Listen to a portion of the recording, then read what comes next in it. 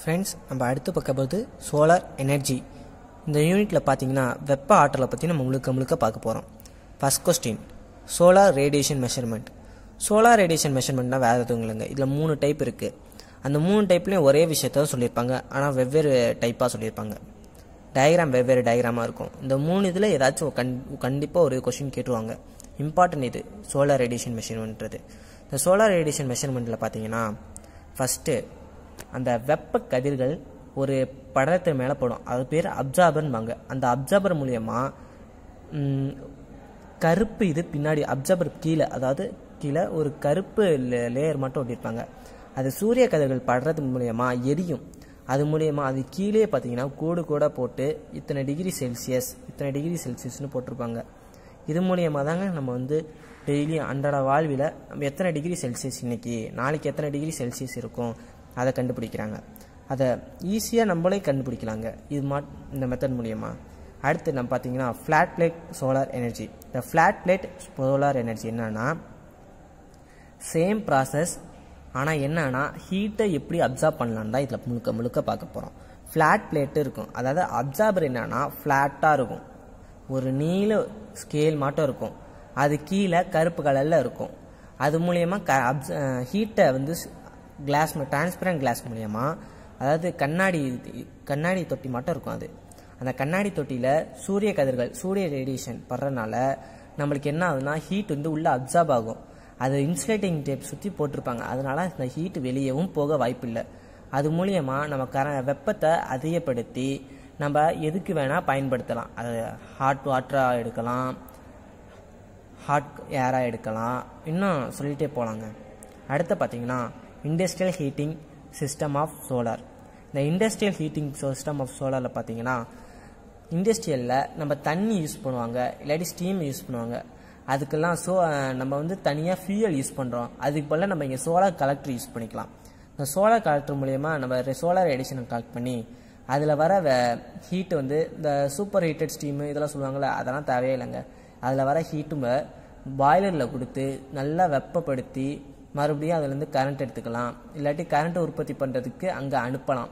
இதாங்க industrial solar heater அதுக்கப்புறம் பார்த்தீங்கன்னா சோலார் வாட்டர் ஹீட்டர் இந்த சோலார் வாட்டர் ஹீட்டரும் இண்டஸ்ட்ரியல் ஹீட்டிங் சிஸ்டமும் ஒன்று தாங்க இதில் பார்த்தீங்கன்னா வாட்டர் கலெக்டர் மூலயமா கலெக்ட் ஆகி radiation solar radiation water collector மூலயமா கலெக்ட் ஆகி வாட்டரை வந்து ஹீட் பண்ண அடியில் டியூப் செட் பண்ணியிருப்பாங்கங்க அந்த டியூப் மூலயமா ஹீட் பட்டு அந்த டியூப்பில் ஹீட் பட்டு அந்த தண்ணி சூடாகும்.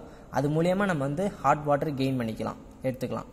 அடுத்த கொஸ்டின் பார்த்தீங்கன்னா சோலார் க்ரீன் ஹவுஸ் இந்த சோலார் க்ரீன் ஹவுஸ் இப்போ அப்படின்னா தாவரங்களை பற்றி நம்ம படிக்க போகிறோம் தாவரங்கள் சில இடத்துல வாழ முடியாது. பனி இது அது சூரிய கதிர் இருந்தால் மட்டும்தான் அந்த வெப்பம் ஒரு தகுதியான வெப்பம் இருந்தால் மட்டும்தான் அது வாழ முடியும். அந்த வாழ்ற வாழ்வாதாரத்துக்காக சில இடத்துல என்ன பண்ணாங்கன்னா இந்த green house solar greenhouse தான் யூஸ் பண்ணுறாங்க அதாவது இந்த சோலார் ரே கதிர்களை நல்ல கிளாஸில் அப்சர்வ் ஆகி அப்சார்பர் மூலிமா அப்சர்வ் ஆகிருங்க. அதுக்கப்புறம் என்ன அது வந்து அப்சர்வ் ஆனதுக்கப்புறம் அந்த இது வந்து ஹீட்டாக மாற்றி அதுக்கு தேவையான டெம்பரேச்சர் அதாவது தரைக்கு அடியில் கிரவுண்டில் டியூப் ஒவ்வொரு டியூபாக கொடுத்துருப்பாங்க. அந்த டியூப் மூலயமா நம்ம வந்து ஹீட் அந்த தாவங்களுக்கு கொடுத்து அதை வளர வைக்கலாம். இது வந்து பனிகாலத்துலேயும் செய்யலாம் குளிர்காலத்துலேயும் செய்யலாம். அது ரெண்டு டைப்பாக இருக்குது அதுக்கு தகுந்தாப்புல நம்ம மாற்றி எழுதிக்க வேண்டியதான் டயக்ராமை போட்டு. அடுத்த கொஸ்டின் பார்த்தீங்கன்னா சோலார் குக்கர் அதில் ஏதாச்சும் ஒரு டைப் மட்டும் எழுதுங்க போதும். அது ஃபைவ் மார்க்கில் கேட்டால் அப்படி டென் மார்க்கில் கேட்டால் மட்டும் மூணு மூணு டைப்பையும் எழுதி தான் ஆகணும். சோலார் குக்கரில் பார்த்தீங்கன்னா அரைச்ச மாவே தாங்க அரைச்சிருப்பாங்க. இதில் பார்த்தீங்கன்னா சோலார் ரேடியேஷன் படும் கிளாஸில் படும் அப்சார்பில் அப்சார்ப் ஆகும். அதே மாட்டோம் நம்ம தேவையான ஹீட் கெயின் பண்ணலாம். அவ்வளோதாங்க பேசிக் கான்செப்ட் அடுத்து பார்த்தீங்கன்னா சோலார் பாண்ட் பவர் பிளான்ட்டு இதில் குளத்துலேருந்து அந்த நீரை பயன்படுத்தி கரண்ட் எடுக்கிறது. இது வந்து மொதல் யூனிட்டோட சம்மந்தப்படுத்திருக்குங்க மொதல் யூனிட்டில் என்ன பண்ணிருப்போம்? மொதல் யூனிட்டில் தண்ணியை காற்றை வச்சு நம்ம கரண்ட் எடுக்கணும் இங்கே தண்ணியை வச்சு அந்த தண்ணியின் சுழற்சி மூலயமா அதன் வெப்பத்தை பயன்படுத்தி சோலார் கதிர்கள் மூலயமா வெப்ப பயன்படுத்தி அதுலேருந்து நம்ம கரண்ட் எடுத்துக்கலாம். இதுதாங்க இந்த கொஸ்டின் அந்த அதில் பார்த்தீங்கன்னா மூணு லேயராக பிரிச்சுப்பாங்க அந்த தண்ணியை. மேலே வந்து எப்போவுமே தண்ணி சூடாக இருக்காது சில்லுன்னு தான் இருக்கும். நடுவில் அடியில் மட்டும்தான் வெப்பம் அதிகமாக இருக்கும். கொஞ்சம் வாமாக இருக்கும். அந்த தண்ணியை தான் நம்ம எடுக்கிறோம். அந்த தண்ணியை எடுத்து நம்ம வந்து வெப்பப்படுத்தி ஸ்டீமாக மாற்றி கரண்ட்டை உற்பத்தி பண்ணலாம். அது ரீசைக்கிள் ப்ராசஸாக அப்படியே போகும். அது அப்படியே கதை அடிக்கலாம் அந்த படத்தை வந்து கதை அடித்தாவே இதுக்கு பத்து மார்க் வந்துருங்க. டென் மார்க்லையும் கேட்பாங்க. அடுத்து solar thermal electric power plant இது பாண்டில் செஞ்சோம்ல அதே தாங்க இங்கே. இங்கே வந்து தண்ணி வந்து குளத்தில் எடுக்க மாட்டாங்க. ஸ்டோரேஜ் டேங்கில் இருக்கும். அந்த வந்து சோலார் கலெக்டர் மூலயமா தண்ணியை கலெக்ட் பண்ணி ஹீட் பண்ணி அதை வந்து ஸ்டீமாக பாய்லரில் மாற்றி கரண்ட் ப்ரொடியூஸ் பண்ணுவாங்க. அந்த டயக்ராம் மட்டும்தான் அங்கே ஈஸியாக இருக்கும்.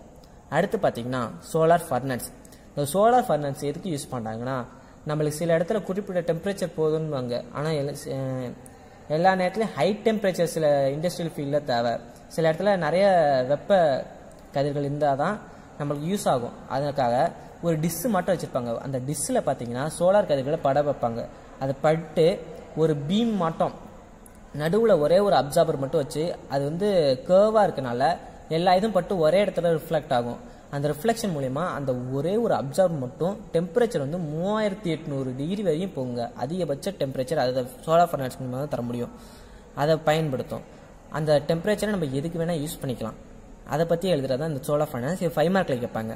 சும்மா கே அதை ரெண்டு லைன் எழுதி படத்தை மட்டும் போட்டு வைங்க போதும்.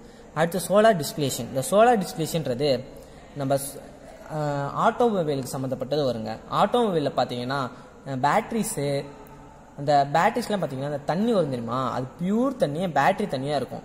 அது எப்படி தெரிய உருவாக்குறாங்க? கடல் தண்ணியை வச்சு எடுக்கலாம். நம்ம நாட் நல்ல தண்ணி இந்த பைப்பு தண்ணி உப்பு தண்ணி எதை வச்சா எடுக்கலாம்.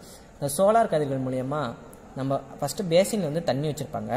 சோலார் கதிர்கள் படும் அப்சார்பில் படும். அதுக்கப்புறம் என்ன ஆகும்னா அந்த அப்சார்பர்லேருந்து ஹீட்டு வெளியாகி இந்த ஸ்டில்லுன்னு ஒரு வாட்டர் டிஸ் ஸ்டில்டுன்னு ஒரு இது இருக்கும் கெமிக்கல் அந்த இது மூலயமா பட்டு ஹீட் ஆகி நம்ம வந்து டிஸ்டில்டு வாட்டராக கிடைக்கும். அதுதாங்க சோலார் டிஸ்டில்டு வாட்டர் இதை பற்றி பார்க்கும்போது தான் சோலார் டிஸ்டிலேஷன் இதுதான் சோலார் டிஸ்டிலேஷன் அடுத்து பார்த்தீங்கன்னா சோலார் பம்ப் சிஸ்டம் இந்த சோலார் பம்ப் சிஸ்டம் பார்த்தீங்கன்னா சோலார் மூலயமா எனர்ஜி உருவாக்கி சோலார் எனர்ஜியை யூஸ் பண்ணி இந்த போர் போட்டிருப்பாங்களே அதுலேருந்து வாட்டர் வந்து பம்ப் பண்ணி விவசாயத்துக்கு கூட பயன்படுத்தலாங்க நம்ம எதுக்கு வேணால் பம்ப் பம்ப் பயன்படுத்துவோம். சோலார் வந்து சோலார் கதிர்கள் படம் மூலிமா நம்ம வாட்டரை பம்ப் பண்ணலாம் அடியிலேருந்து. இதாங்க இந்த இந்த கொஸ்டின் மொத்தம் இதில் ஆறு கொஸ்டின் ஆறு கொஸ்டின் கூட வர முடியல. அஞ்சரை கொஸ்டின் ஈஸியாக தாங்க இருக்கும். நம்ம வந்து கதை தான் இந்த யூனிட் ஃபுல்லாக சோலார் இது இப்படி வெப்ப ஆற்றல் எப்படி உபயோகிக்கிறோம்? அதை பற்றி தான் இந்த யூனிட்டில் பார்ப்போம்.